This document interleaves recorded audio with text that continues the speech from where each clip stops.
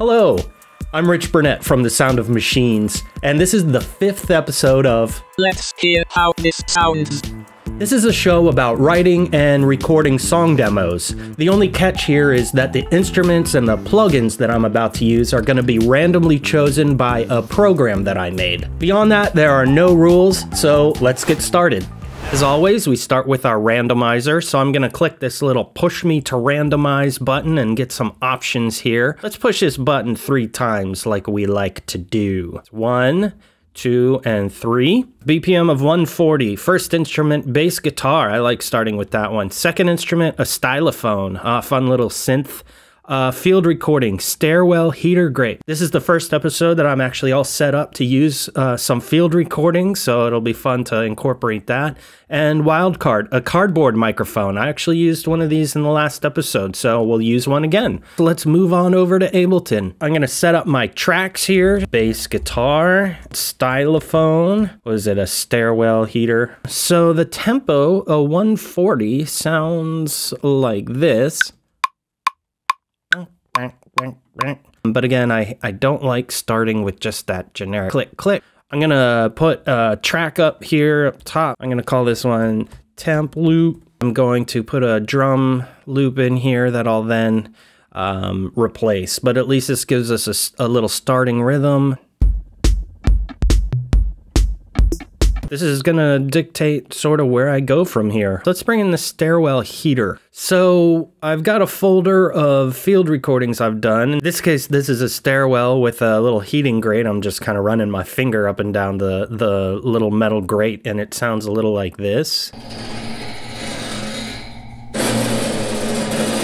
I've dragged the file directly into my Ableton. You can hear it in there. It starts off with a fun little Right, that's cool. What if we pitch it up a little? That's, uh, the artifacts there are kind of neat. Bum, bum, bum, bum. What if I really dig into giving it some little stutterers here at the end?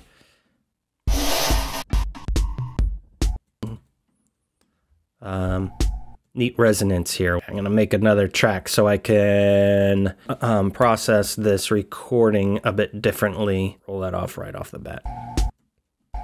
If you want to find out what note any of these nodes are, you can always open up your window by clicking this arrow, and this corresponds to a G.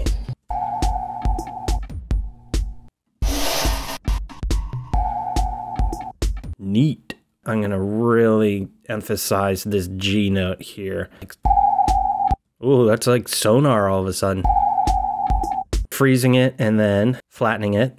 So now that's just how this sample sounds.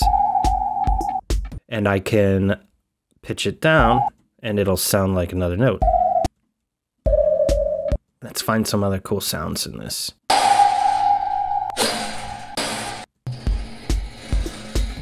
Maybe I'll try stuttering this guy. I'm gonna preserve 16th notes. Neat, huh? So let's start this one with preserve 8th notes. This one preserve 16th notes. This one preserve 30 seconds and uh, drag you out. I'm going to mash it all into one thing here. Uh, go into my clip editor, um, mess with the transposition. Um, let's make let's change this from beats to complex because that's going to allow me to kind of warp the pitch. So maybe it goes up. Let's see what this sounds like. Higher. Take all these low ends out. A bit of a glue compressor on there. I feel like it's missing a few beats at the beginning in order to make it sound like a full phrase. In the stairwell, I've got this little sample. I'm going to drag this sample down into the sampler. And then in this simpler, I'm going to make a, a MIDI sequence. One, two, four, Rough snare, huh? Let's see if I can turn this into something a little less ugly, huh?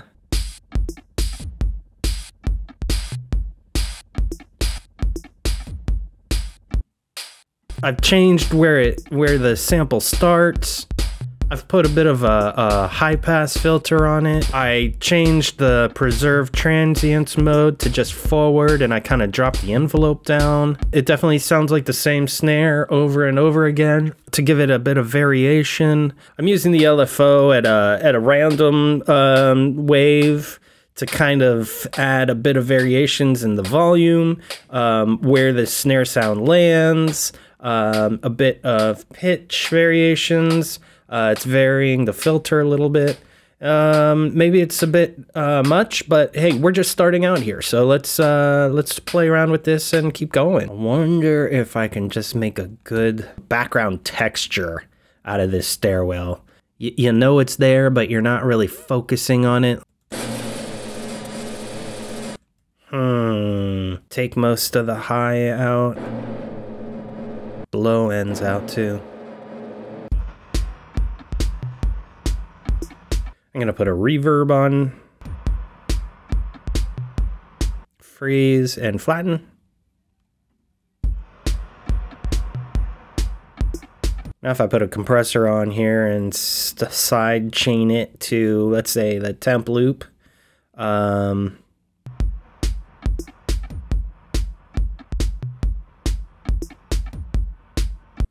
yeah, now it's just a, a bit of nice ambient background noise. I'll call this one sonar. Let's raise this guy up to what? A third? Three steps? One step.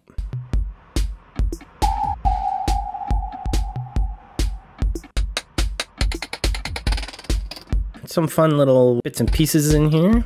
Put all of these guys into their own group. Stairwell. Should this stairwell be a repeating?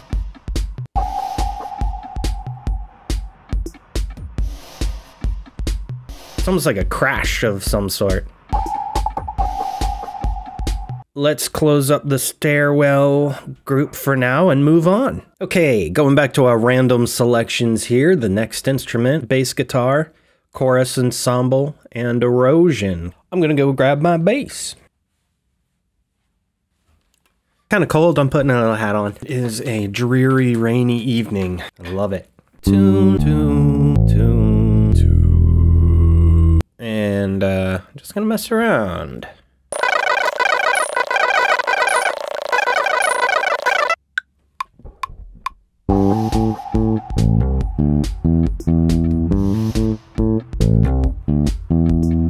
One, two.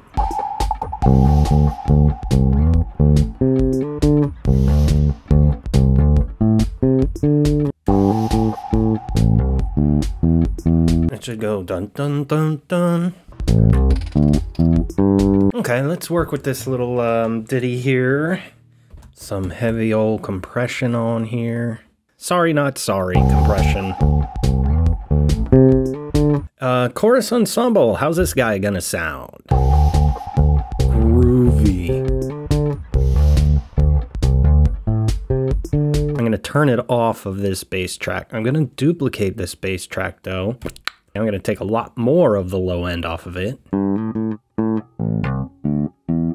Going to roll off a lot of the high ends off of this first, this main track. The one with the higher ends is the one I'm going to turn the chorus on. Uh, I'm going to duplicate the bass one more time.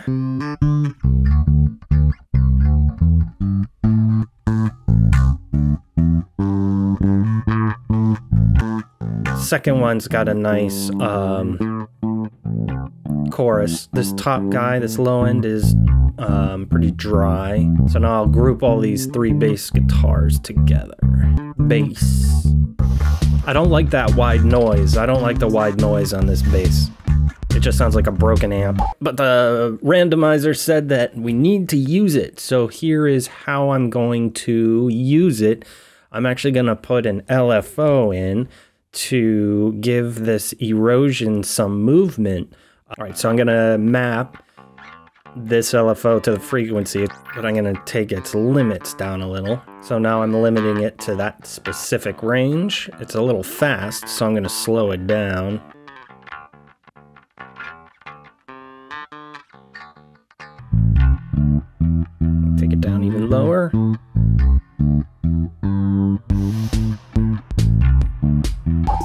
So stylophone is the next instrument that was on our randomizer. Then the randomized effects uh, were a hybrid reverb and a beat repeat for that stylophone. So the stylophone is is um, hanging out over here, hanging out there. So the stylophone's this little um, synthesizer. So take this little pen, which is connected electronically, as you drag it across a keyboard here. So there's a bunch of controls on it as well that I'm going to mess around with here. So here we go. Isn't there a master tuning?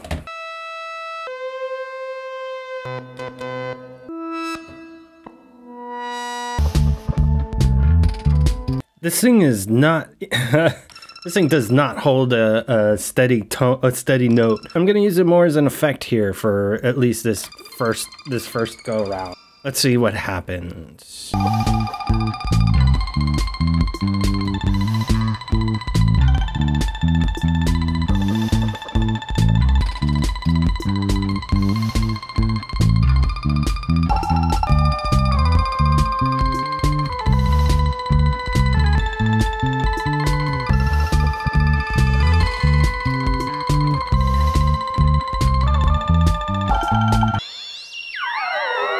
So he's also got a built-in delay.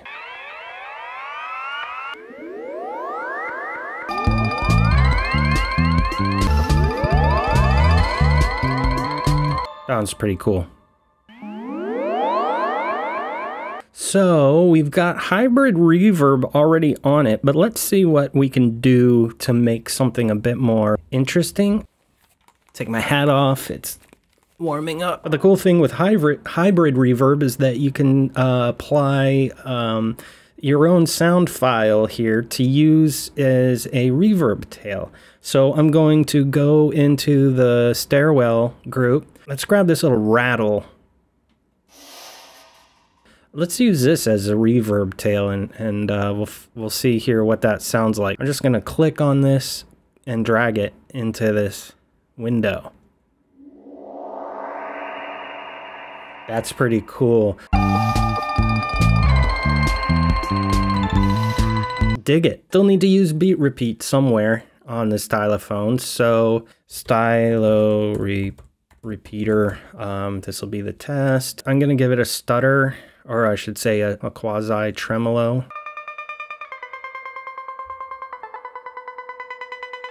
Now with that tremolo, I wonder if this beat repeat will give us some interesting results.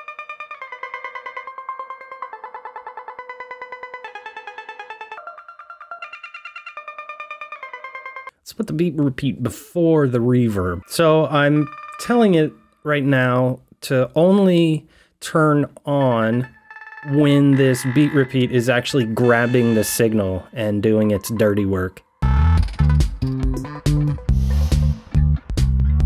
Interesting. So now it's just this random, uh, it's almost like a, a broken computer. I'm gonna put an auto pan in here.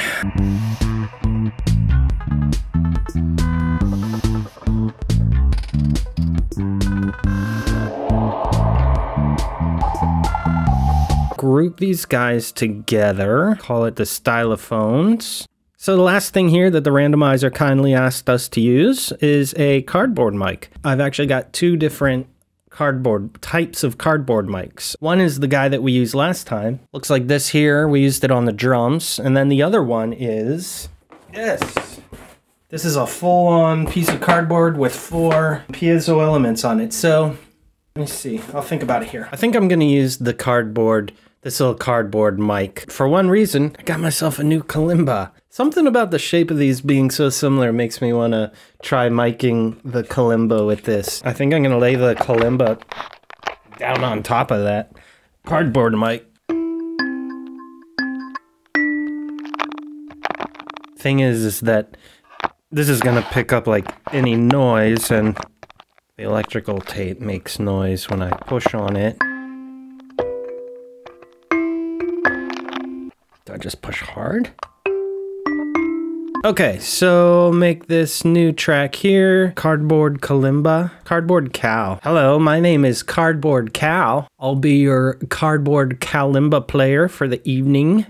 I am going to play around here and just kind of see what happens here.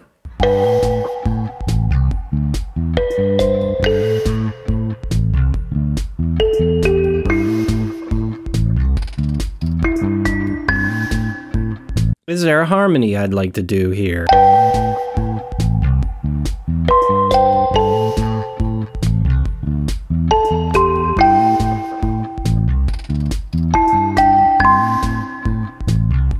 So this is the point where I start uh, arranging the track and coming up with some sort of structure that's not just the same part repeated over and over. So yeah, I'm gonna do that now.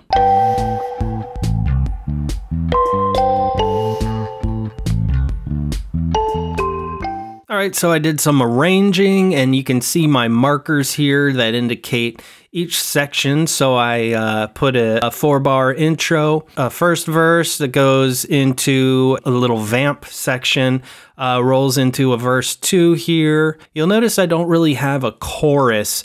Um, that's because I think the chorus might be the second part of each verse. Sometimes a standard song structure just isn't what happens, and that's totally fine. I then go into a bridge section, which is sort of like a breakdown, and then another little vamp after that bridge section. Then we go right back into a verse. I might as well have put a little marker that said chorus. But again, I'm, I'm not sure if the second part of this verse is considered a chorus.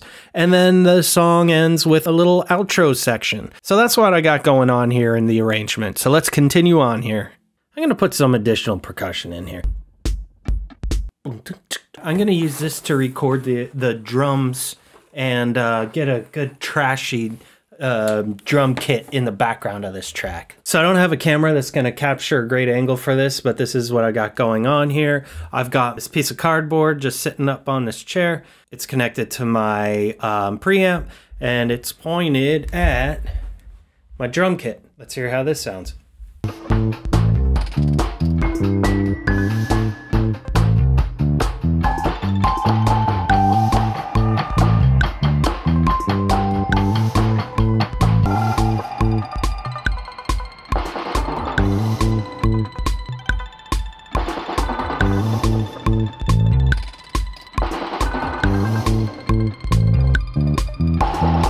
That gives me some fun bits and pieces to push around and work with here.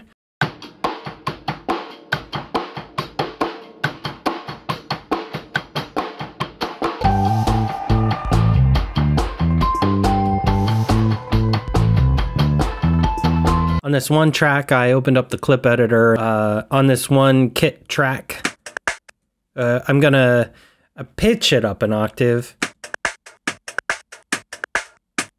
It definitely introduces some strange artifacting, but it adds an interesting texture to the full piece. I like it. A little bit of an organic drum uh, set in there, recorded on a piece of cardboard. And of course, it's not a demo track until it's got a tambourine in it.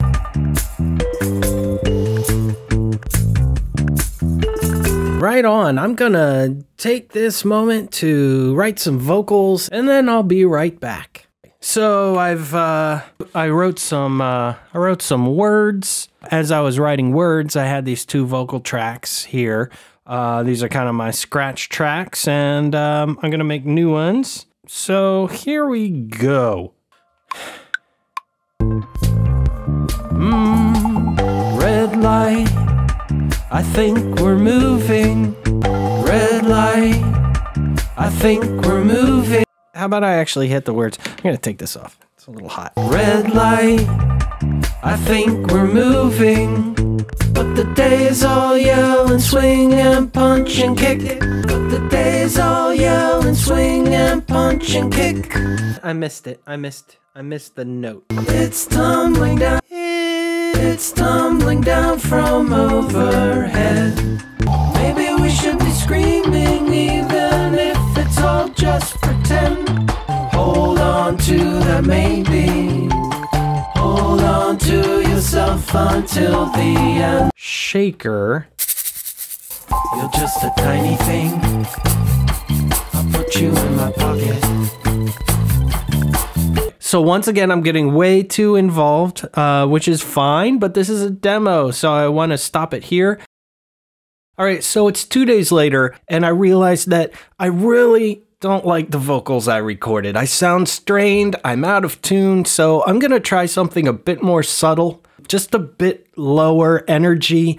I don't think I have the ability to really belt out the vocals the way that the song might require for a final version. I'm gonna re record them, and this has gotta be it, right?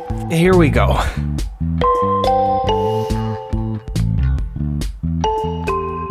As usual, I spent way too much time on the song demo. I am a lot happier with how this sounds. After some tweaking and editing, this is what the final demo sounds like.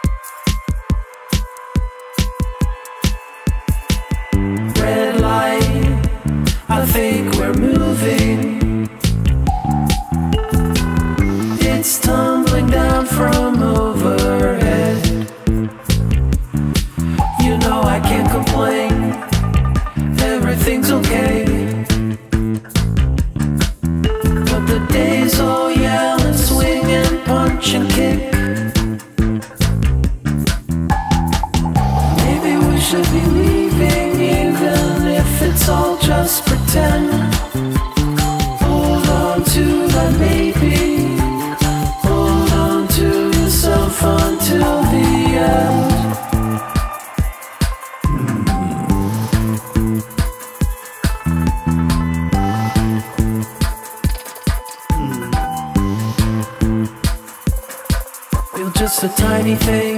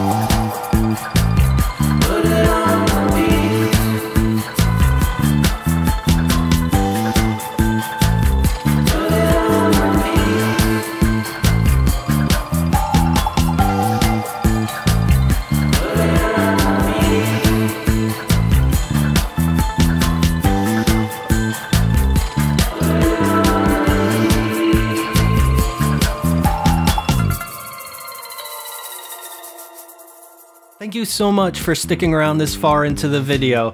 I'll see you on the next episode of Let's hear how this sounds.